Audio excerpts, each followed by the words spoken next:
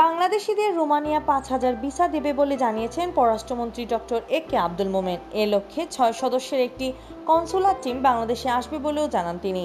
সোমবার এক বার্তায় পররাষ্ট্রমন্ত্রী জানান, চলতি বছরের মার্চ মাস থেকে তিন মাস ঢাকায় অবস্থান করবে তারা। এই প্রথম রোমানিয়া এ ধরনের কনসুলার মিশন পাঠাচ্ছে। পররাষ্ট্রমন্ত্রী বলেন, এই টিম তিন হাজার চারশো স্থগিত থাকা ভিসা সহ প্রায় পাঁচ হাজার ভিসা ইস্যু করতে ঢাকায় আসছেন। তাদের কিছু স্থানীয় সহায়তা প্রয়োজন। কারণ এই প্রথম তারা বিদেশে এই ধরনের কনসুলার মিশন পাঠাচ্ছে। উল্লেখ্য, বাংলাদেশের রোমানিয়ায় কোনো মিশন নেই। দিল্লির মিশন থেকে বাংলাদেশের সঙ্গে যোগাযোগ রাখে দেশটি।